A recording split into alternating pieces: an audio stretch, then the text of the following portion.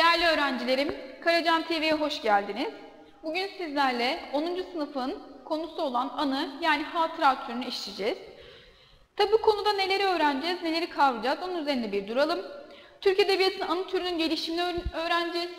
Anı türünün özelliklerini öğreneceğiz. Anı türünün edebiyatımızdaki belli başlı eserlerini tanıyacağız. Bunlar üzerine duracağız. Ee, tabii cümle çeşitleri falan var. Bunlar dil bilgisi konusuna giriyor. Ee, normal müfredat dahilindeki konumuz anı, hatırada bunları görmek. Şimdi anı dediğimiz şeyin diğer bir adının hatıra olduğunu zaten hepimiz biliyoruz. Peki anı yani hatıra ne demekmiş? Bir edebi tür olarak anı toplumca tanınmış, anahtar kelimem toplumca tanınmış ve alanlarında isimleri duyulmuş, kişilerin geçmişte yaşadıkları ya da şahit oldukları olayları, durumları anlattıkları yazı türüdür.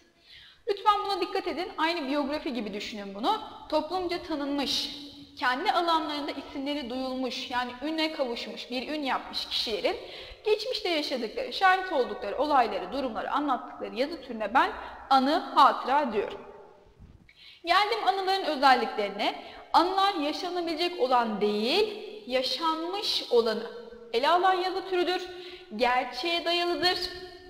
Yaşadığı dönemin ekonomik, sosyal, toplumsal, siyasi, kültürel, tarihsel e, yapısını yansıttığı için birer belge niteliği taşır. Anı insanın tanınma, unutulmaya karşı bir önlem alma, unutamadığı anları paylaşarak yaşatma, ardında iz bırakma, ders verme, ders alma, gereksinimlerinden doğmuştur. Yani doğma sebebi geçmişe ait yaşadığı tecrübeleri, olayları, durumları ders almak, ders vermek ve insanlarla, bunu kimlerle? Yakınlarıyla, çevresindekilerle, çocuklarına aktarmak için yazılan bir tür edebi türdür. Yazar anıda sadece kendisini anlatmaz. Bu çok önemli. Kendisini anlatmaz, çevresinde yaşanan olayları da, anı da kendine yer bulur. Anılar yaşamdan elde edildiğinden gerçeklik öviyesi diğer edebi eserlere göre daha yüksektir. Anılarda birinci kişi anlatımı söz konusudur. Geçmişte yaşanan olayları yani kafanızda şöyle bir karışıklık olmasın. Kendisini anlatmaz derken muhakkak olayın içerisinde kendisi vardır. Yani tamamen yoktur, başkasının hayatını anlatmaz. Ama şahit olduğu, bizzat bildiği bir şey anlattığı için birinci kişi anlatımı söz konusudur diyor. Herhangi bir kafa karışıklığı olmasın. Geçmişte yaşanan olaylara dayanması doğal olarak anıyı tarihe yaklaştırır. Bir başka ifadeyle tarih toplumsal, anı ise bireysel tarihtir. Ya anı bizim için şu şekilde önemli. Geçmişe ait e, yaşanan olayları, olguları bizlere verdiği için anı bizim edebiyatımızda ve diğer edebiyatta da türlerinde olduğu gibi çok önemli bir yere sahip. Geldim Batı edebiyatında anı. Şimdi Batı edebiyatında e, yazılı anlamda bilinen ilk anı örneği milattan önce 4. yüzyılda Yunan tarihçisi Knosopon yazdığı Anabasis adlı eseridir. 17. yüzyılda ise anıları Comte'un, e, Anton Hamilton'un Gromont Comte'un anıları yer alıyor. Diğer anı yazanları da zaten görüyorsunuz. Örneklerimiz söz konusu. O zaman biz ne diyeceğiz? Batılı anlamda şöyle diyeceğiz. Batılı anlamda bilinen ilk anı örnekleri Yunan tarihçisi tarafından ortaya çıkmış. Hangi yüzyılda? 4. yüzyılda yazıldığı bilinmekte. Tamam mı? Evet, geldim. Burada yine anılarımızdan bahsetmiş. Burada bir okuma metniniz var. Siz kendiniz lütfen onu bir okuyun. Geldim Türk Edebiyatı'nda anıya. Türk Edebiyatı'nda yazılı ilk eser olan Göktürk kitabeleri birer söylev olmakla birlikte ana özelliklerini de taşımaktadır. 15. yüzyılda Babür Şah'ın yazdığı Babürname bizim için çok önemli. Lütfen buna dikkat edin. Edebiyatımızda bu türün ilk örnekleri olarak karşımıza çıkmaktadır. 16. 17. yüzyılda Ebul Gazi Bahadır Han'ın yazdığı Teceri Türki yer yer ana özelliği taşıyan diğer bir tarihi kitabımızdır. Yine aynı yüzyılda yaşamış Katip Çelebi'nin eserlerinde de anılarına yer verdiği görülmektedir. Bunlar bizim için çok önemli. Yani Türk Edebiyatı'nda yazılı ilk eserler Göktürk kitabelerinde gözüküyor. Bunu biliyorsunuz zaten. Ee, Göktürk kitabeleri zaten bizim edebiyatımızın çok değerli edebi eseridir. Ana özelliği de taşımaktadır. Bu yüzden ilk eserler olarak Köktürk kitabeleri gösterebiliriz. Babür Şah'ın yazdığı Babürname önemli. Ebul Gazi Bahadır Han'ın yazdığı Secere-i Türkiye bizim için önemli. Lütfen bunları özet niteliğinde kendinize not çıkartın. Özet demek hepsini tamamen aynısını yazmak değil. Bu da biraz yanlış anlaşılıyor. Özet dediğimiz şey adı üstünde. Özet. Yani hepsini yazmayacaksınız.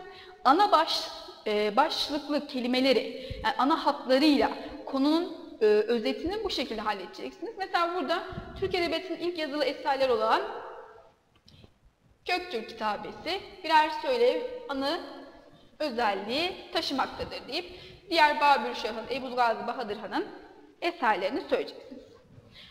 Tabi bu tür yine diğer türlerde olduğu gibi gelişimini nerede gösteriyor? Tanzimat döneminde tabii ki gelişimini gösteriyor.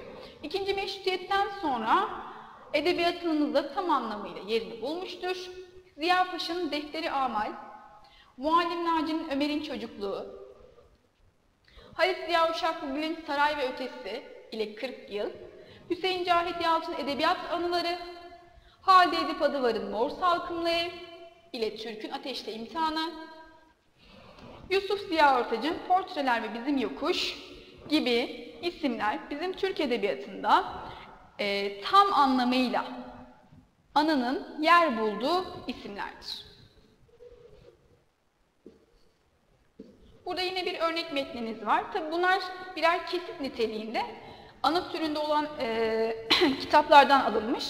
Mesela memurluk yaşamı kimin eserinden alınmış? Hemen şöyle bakalım. Hüseyin Cahit Yalçın'ın Edebiyat Anıları adlı eserinden bir kesit alınmış sevgili öğrenciler. Şimdi geldim Türk Edebiyatı'nın önemli anı kitaplarına. Ömer'in Çocukluğu, Muallim Naci biraz önce söylediklerimiz.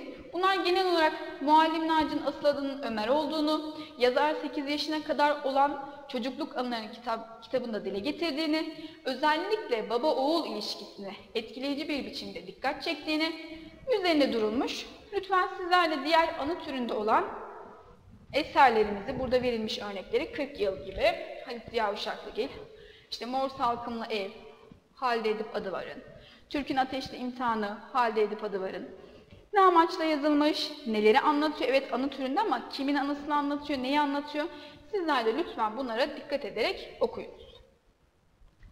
Geldim anı türlerine. Türk Edebiyatı'nın anı türünde yazılmış eserler genel olarak siyasi ve edebi olmak üzere iki grupta toplanmıştır. Yani Türk Edebiyatı'nın anı türünü kaça ayırırız dersek ikiye ayıracağız. Siyasi tür ve edebi tür olmak üzere iki gruba ayrılmış. Şimdi gelelim ana portre kişi merkezli. Şimdi bu ne demekmiş? Bir yazarın tek bir kişiyle ilgili anılarını yazdığı anı türüne ben kişi merkezli ya da anı portre diyorum. Bu anı türünde yazar kişinin çeşitli yönlerini ele alarak portresini çizer, onu ruhsal ve fiziksel açıdan anılar yoluyla anlatır. Bu tür anılara biyografik eserlerde de yer verir. Bu türde yazan isimler Yusuf Ziya Ortaç, portreler, Halit Fahri, Fahri Ozansoy, edebiyatçılar. Bunlar çok önemli tabii ben şöyle altlarını çizeyim. Yahya Kemal Beyatlı siyasi ve edebi portreler. Fatih Rıfkı Atay, Çankaya adlı eseri bizim için önemli. Düz yazı olay merkezli anılara geçtik. Yazarın bizzat yaşadığı ya da tanık olduğu olayları ve dönemleri anlattığı anılardır. Bu tür anılar otobiyografik eserlerde sıkça karşımıza çıkar.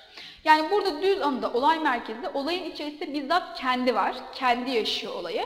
O yüzden e, ben buna olayın içinde olduğu için olay merkezli düz anı diyorum. Muallim Naci'nin Ömer'in çocukluğu, Ahmet Niksan Tokgöz e, mat, matbuat hatıralarım, Yakup Kadri zoraki diplomat. Lütfen bunu unutmayın. Bizzat olayın içinde Bu, Muallim Naci'den bahsetmiştik. Muallim Naci'nin asıl adı Ömer olduğunu, burada baba oğul ilişkisinden bahsediyordu. Buna da dikkat edin. Yani bizzat olayın içerisinde bizzat olayı yaşayan kişi. Geldim içeriklerine göre. Anılara, İçeriklerine göre sınıflandırma yapmak zor olmakla birlikte anılar siyasi, tarihi ve toplumsal tarafı ağır basan anılar ile kültür, sanat, edebiyat ve bireysel tarafı ağır basan anılar olarak ikiye ayırabiliriz. Şimdi siyasi ve toplumsal tarafı ağır basan anılardan bahsedeceğiz. E ne olacak? Mantıken bu Cumhuriyet döneminde yazılmış olacak. Ve daha çok Kurtuluş Savaşı çünkü bir Kurtuluş Savaşı'nın içerisindeyiz. Kurtuluş Savaşı hakim, e, milli bir mücadele, e, halkın bir bekleyişi söz konusu. Bu türde yazılmış, e, bu konuların ağır bastığı bu türde yazılmış anılardır. Mustafa Kemal'in Nutuk, Kazım Karabekir'in İstiklal Harbi, Rauf Orbay'ın Cehennem Değirmeni, Çerkez Etem'in Çerkez Etem'in Hatıraları adlı eserler bizim siyasi, tarihi ve toplumsal tarafı ağır basan anılarımızın içerisinde yer alıyor. Geldim diğer ikinci bir başlığı.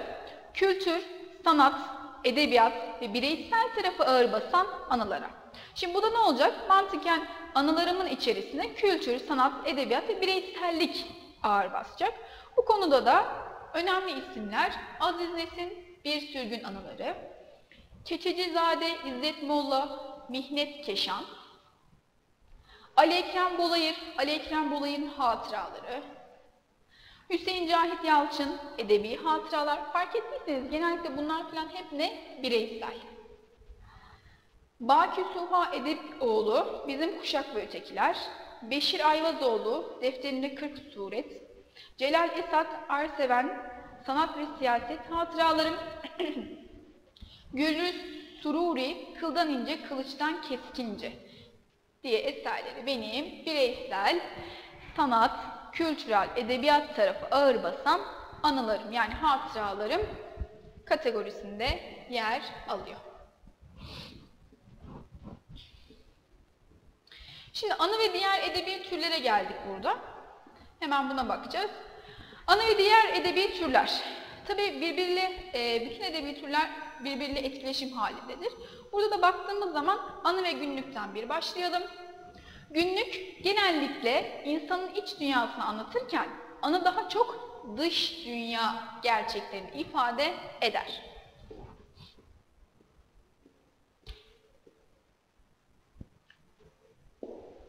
Anı günlük gibi günü gününe yazılan bir eser değildir. Olayın geçtiği tarihten 30-40 belki 50 yıl sonra da kaleme alınabilir. Fakat günlük günü gününe yazılan bir türdür. Günlük daha bireysel bir türken anı daha toplumsal içeriği olan bir türdür. Yazar anısını anlatırken yaşadığı dönemin özelliklerini detaylandırarak anlatır. Anılar günlüklere göre daha gerçekçi özellikler barındır. Geldim anı ve otobiyografiye. Aslında birbirine ortak yönlerinde de farklı yönlerinden bahsetmiş burada. Geldim anı ve otobiyografi. Anılar yazarın duyduğu olayları aktarma şeklinde olabildiğinden otobiyografiden bu yönüyle ayrılır. Otobiyografide yazar genellikle kendi üzerinde dururken anıda yine anı hep toplum ve çevre aklınıza gelsin. Roman ve hikaye baktığımızda anı hikaye ve romana da kaynaklık edebilir.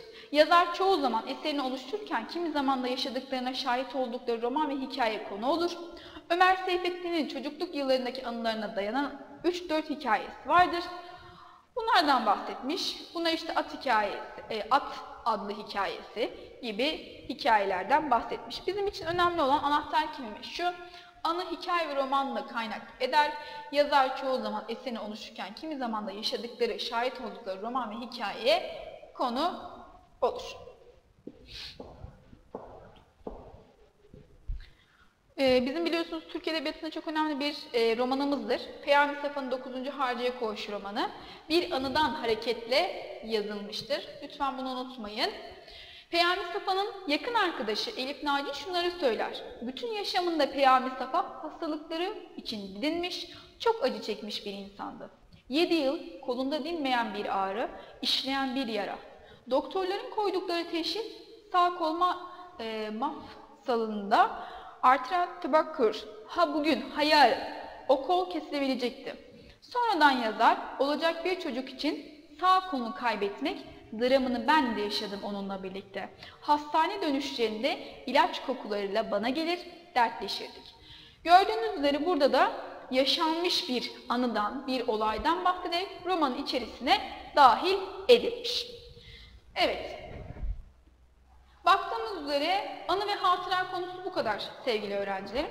Sizden ricam muhakkak buradaki anılarımızı e, okumanız, bunlara dikkat ederek okumanız.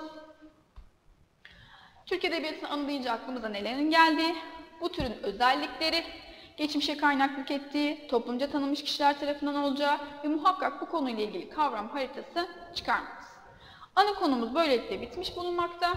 Bir sonraki ders videomuzda görüşmek üzere. Takipte kalın.